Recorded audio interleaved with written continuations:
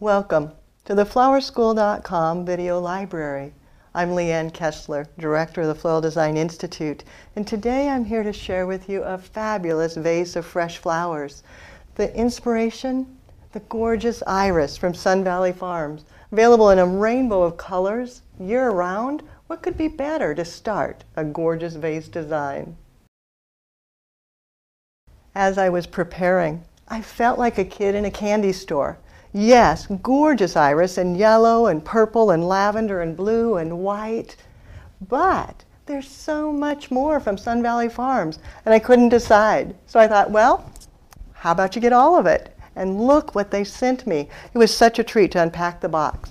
Asters, kale, lilies, tulips, lisianthus, matricaria. Oh my goodness, I just couldn't believe how fabulous it was. And yes, I'm going to use every bit of it in this vase design.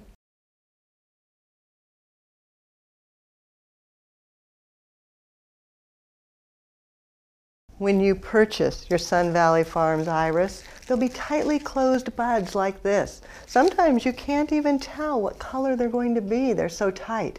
Thank goodness they'll tell you what color. Then open them up, undo the band, and give them a cut. Put them into fresh water with flower food and let them hydrate. And you can see they start to open beautifully. And soon they'll look like this because Sun Valley Farms guarantees their iris to open. And look how fabulous they are.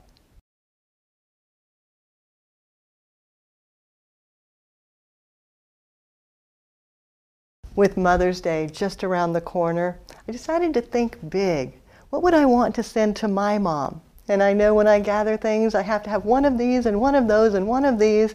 And then, of course, I have so much, I have to find a big vessel. So that's where I started. Then, next step is to build a nest of foliage that will support all my flowers. And one thing that's fabulous is Sun Valley has foliage as well. We've got salal, just giving it a break so it's got a nice clean stem, setting it in. And with that fresh break, it'll drink well. And you can see I'm just radiating around the vase, creating a ring of foliage, letting the stems cross through in the center. And that crossing is what will create a nest for all my flowers, giving it support. Now, in addition to salal, they've got huckleberry.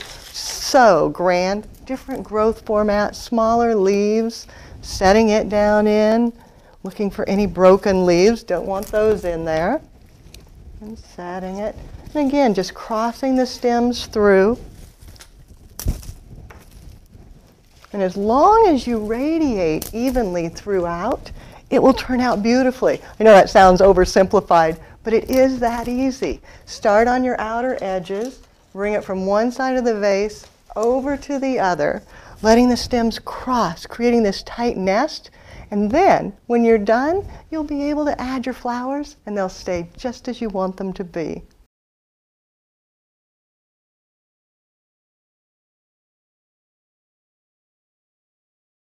If you've taken classes with me at the Floral Design Institute, you know at this stage I would check your work. And how do you check it?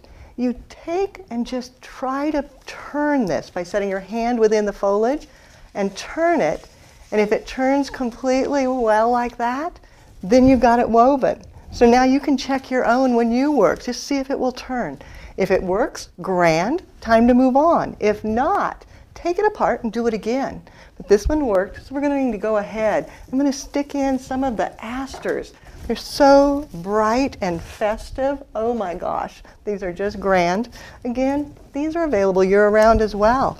You can just give them a cut set them down in, cut.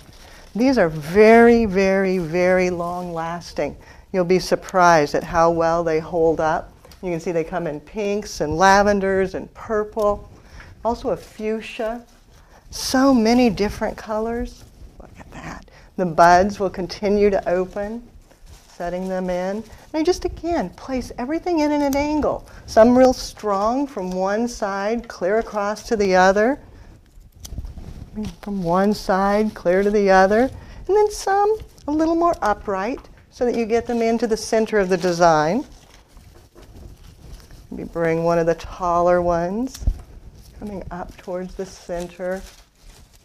Making sure though that the stems weave in. The more you weave, the better it will support all the rest of your blooms. So you're basically building a grid work within the vase. Then some kale. Oh, these are so gorgeous, nice and big. Setting them closer to the center so that they give you a visual anchor, creating an accent in the design. One to the front and one to the back because it's an all the way around arrangement. It's not flat and one-sided. a little bit of the matricaria. It's delicate, lacy. It's related to chamomile. If you think about chamomile tea with its calming influence, we can say this is a calming influence in my arrangement. Just tucking them in and again, radiating around.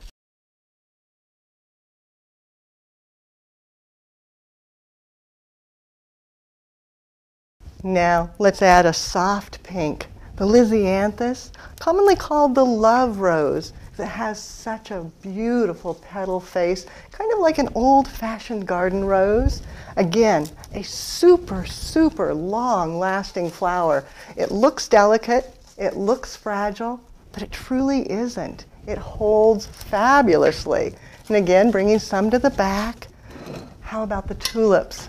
Gorgeous French tulips with their long stems, graceful heads, placing them in, finding a perfect little spot, knowing that they're going to grow.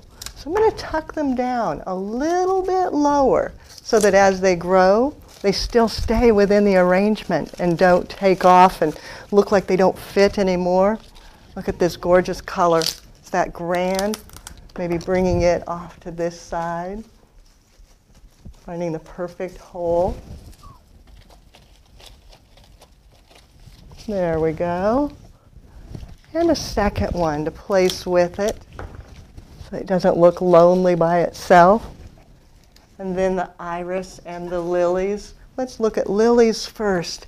They open beautifully, but you want to take a moment and remove the pollen nodules because this will stain the petals, making it look not quite as beautiful. So if you just take a little bit of a time to reach in, pull those off, Make sure that they're not going to stain the petals. Then giving them a cut, letting that come up through the center. Oh, brightens the top of the design. And one a little shorter, coming out the back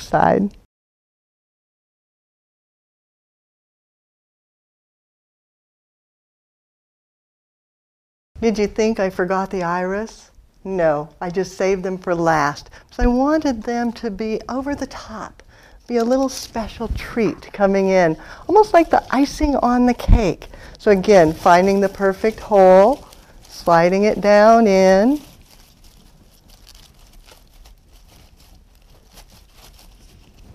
Letting it come to the top. Maybe another one out to the side.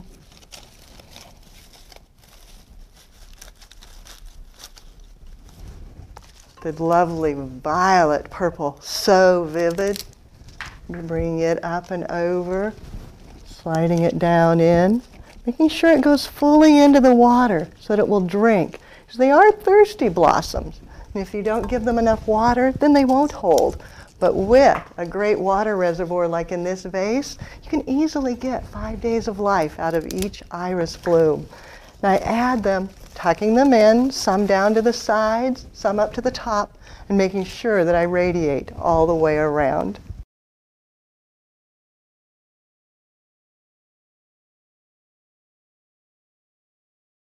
The finished arrangement could stop there, but I always like to add just a little softness.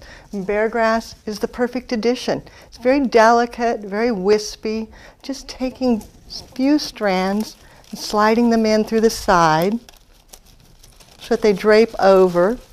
Give a little bit of movement to the finished arrangement.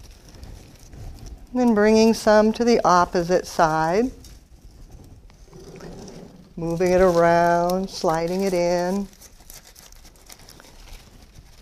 And then a little bit out the back side So we've got it in three spots so that it really finishes it all the way around, gives it a full radial format. And as the breeze goes by or somebody comes to look, becomes wispy and blows and just adds a little bit of soft movement to the arrangement.